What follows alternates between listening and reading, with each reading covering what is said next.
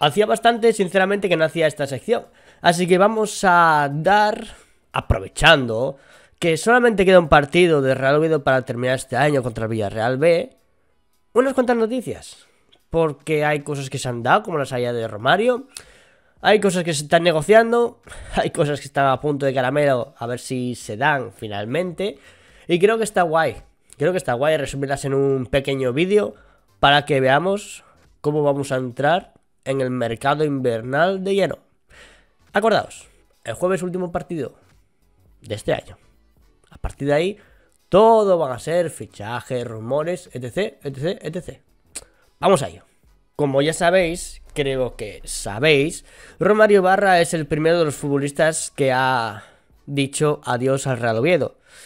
Durante una lesión, durante una de las dos o tres lesiones que ha tenido durante esta mitad del año, que la verdad es que el pobre chaval no ha tenido mucha suerte con eso, y luego cuando ha entrado, su máxima aportación fue un tiro al palo esquinado. Entonces al final, entre una cosa y otra, creo que, que hay una cosa clara, y es que esta gente no pierde el tiempo. Y eso me recuerda a cuando se fulminaron a Tito y a Bolo del tirón. Y trajeron a Cervera y empezaron a meter estructura con Agustín Lleida y demás. Bueno, Roberto Suárez también entró de aquella, ¿no? Evidentemente. Entonces, la primera noticia, que no es noticia, es la salida de Romario Ibarra, que veremos dónde acaba, porque al final es propiedad del grupo. No sé si volverá para México, no tengo ni idea, no tengo ni idea. Pero bueno, es lo que hay. Romario Barra no ha tenido mucha suerte en el Real Oviedo. Y yo le deseo suerte a partir de ahora, como es normal. No ha hecho nada malo para que yo, yo no diga esto. Más respecto al tema salidas, ¿os acordáis que Masca no participaba y que era una de las prioridades para que pudiera salir más? Creo que esa opción se ha caído. Viendo los últimos partidos de Masca y viendo su aportación, es creo, creo que es más que normal que a Masca ya no se le busque destino más allá de, posición en el 11 inicial porque aporta y mucho. Y es algo que yo creo que todos veíamos de Masca cuando tuvo sus primeros partidos con el Real Oviedo, que, es un chaval que tenía gol y que tiene ciertas cosas que, que gustan y que gustan bastante. Masca era una de las opciones a salir junto con otro futbolista, en este caso Alex Cardero. Que Alex Cardero con el primer equipo no juega mucho, por así decirlo, por no decir prácticamente nada. Y se le está buscando salida. Porque al final el filial, pues filial es. Y tienes que buscarle una salida para ver si es posible que aporte bien al primer equipo o no. O tienes que buscarle una salida diferente. Se buscará una cesión para Alex Cardero. De hecho, ya han preguntado equipos de primera y segunda federación porque, a ver, es futbolista de, de primera federación si me preguntáis a mí. Ahora bien, ¿que quieres que juegue, participe a tope y demás? Ahí está la cuestión. ¿Quieres que sea titular indiscutible? ¿O quieres que se pelee por un puesto en la titularidad en un equipo de primera Real Federación medio alta de la clasificación? Ahí tiene la decisión el Real Oviedo, al igual que la tuvo con Mangel. Ahora, lo que tiene que hacer es tomar una decisión con la Cardero. Y ahora voy a mezclar unas cuantas noticias porque al final esto es que va todo de la mano, gente. Entonces, el Real Oviedo desde la dirección deportiva con Roberto Suárez, Agustín Lleida y con la supervisión de Martín Peláez y, Jesús Martínez, esto es todo así, ya os sabéis, ¿no? Que al final no es como la época de Carso, ¿no? Que todo dependía de lo que de México, pero aquí sí que es cierto que, Jesús Martínez pues ayuda bastante en cuestión de fichajes, por el tema de que al final somos un, componente de un conglomerado ya sabéis, León, Pachuca, etc, etc, ¿no? Entonces, se da prioridad a la parte del ataque. Eh, cosa que me sorprende en cierta medida por el tema de la lesión de larga duración de Mario Hernández. Acordaos que se puede utilizar gran parte de su ficha para inscribir a otro futbolista. Así funcionan las normas de la liga. Entonces, eh, los planes es reforzar la parte de ataque. Esa parte.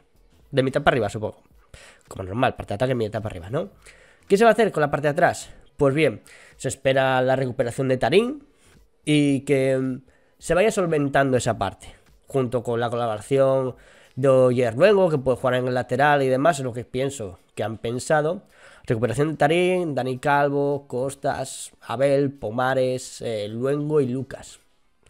Tres centrales y dos laterales. Uno que era central reconvertido como es Oyer Luengo, otro lateral como es Lucas, que es lateral lateral, y en la parte izquierda, pues Pomares y Abel. Y luego en el medio, pues Dani Calvo, Tarín y David Costas. Esto es lo que creo que han pensado por dentro para no dar prioridad a la defensa como al principio se, se, presuponía, ¿no? Que había que fichar un lateral derecho sí o sí o demás.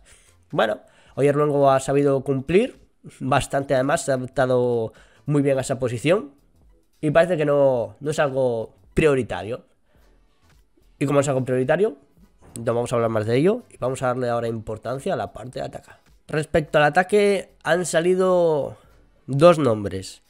Uno que es un rumor sin más, Brandon Thomas, mítico futbolista que ha pasado por aquí, por la, por la división española, que creo que todo el mundo le conoce, que jugó en Osasuna, que, bueno, Málaga, muchos equipos al final de, del fútbol español. Ahora está, quiero recordar, en el PAOK y es uno de los rumores que suena para el Oviedo. No sé si Brandon Thomas os encaja para, para el Real Oviedo, pero el que parece ser que sí va a encajar y va a encontrar su sitio, o debería, o debería, es Jonathan Dubasin, futbolista que ha pasado por la segunda división, que ha sido, buah, o sea, ha tenido un año increíble en el Albacete cuando estuvo aquí, se fue al Basilea. En el Basilea este año tampoco es que haya tenido mucho protagonismo, pero sabemos de, de la calidad de Dubasin. Para mí me parecería un muy buen acierto. Y en este caso el Real Oviedo ha sido listo y se ha movido antes que nadie. Llevan hablando tiempo con el futbolista, el Villarreal se ha puesto en medio, pero lo quiere para el filial.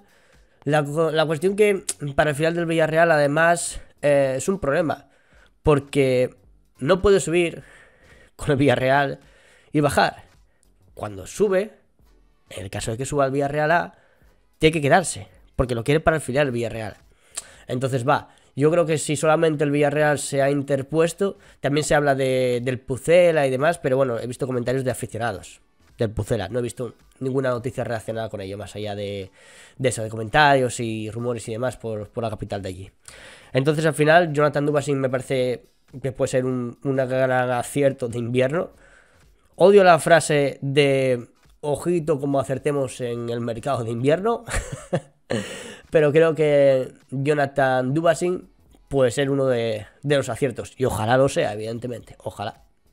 Y creo que hay una noticia que ojalá se cumpla y que puede ser una noticia súper mega ultra importante. Y es que Colombato ha renovado o va a renovar, mejor dicho, porque no se ha sabido nada de forma oficial, con el grupo Pachuca hasta 2027. La intención de Jesús Martínez es que no vaya bailando entre equipos. La intención de Jesús Martínez es que el próximo año siga en el Real Oviedo. Ahora bien, eh, wow, eh, vale, después de un año que está siendo increíble de Santiago Colombato, como es normal, se van a fijar muchos clubes de segunda división y algunos que otro de primera, seguro. Colombato va a tener mucho mercado. ¿Cómo haces que Colombato se quede? Pues con amor y cariño. y diciéndole que aquí va a ser el jefe del centro del campo y que al final, evidentemente, retener a un futbolista así para cualquier equipo es mucho más fácil si consigues ascender a primera división. Pero de eso evidentemente no quiero hablar. Quiero hablar en el caso de que Santiago Colombato siga un año más en el Real Oviedo. Que sería una notición, tanto para él yo creo como para nosotros. Lo que más busca un futbolista es estabilidad. Si nos mirad a futbolistas que pueden jugar en primera división, como David Costas, como Luismi, como Dani Calvo, que han estado y siguen en el Real Oviedo, están cómodos, a gusto. Eh, el caso de David Costa ha rechazado no sé cuántas ofertas de primera división. No sé, el Real Oviedo tiene algo que te retiene algo que te hace mejor futbolista. Pregúntense a David Costas, pregunten en Almería, pregunten en Vigo.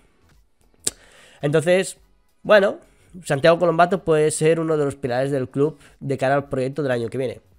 Sea aquí en segunda división o en otra división. Quién sabe al final, ¿no? Fútbol. Y estas han sido, amigos y amigas, todas las noticias que rodean actualmente a Real Oviedo. Veremos qué nos depara el partido contra el Villarreal B, veremos qué sigue a partir de ahí y veremos evidentemente pues cómo se van desarrollando todas las operaciones de Duasing, si se oficializa por algún lado la renovación de Colombato con el grupo Pachuca, si Alex Cardero al final qué destino elige, etc, etc, etc, ¿vale? Así que nada, ya sabéis, como siempre, dejados un buen like por este vídeo y suscribiros para cuando suba vídeos y activar la campana para que os avise. nada más que decir, hasta luego ya lo Oviedo.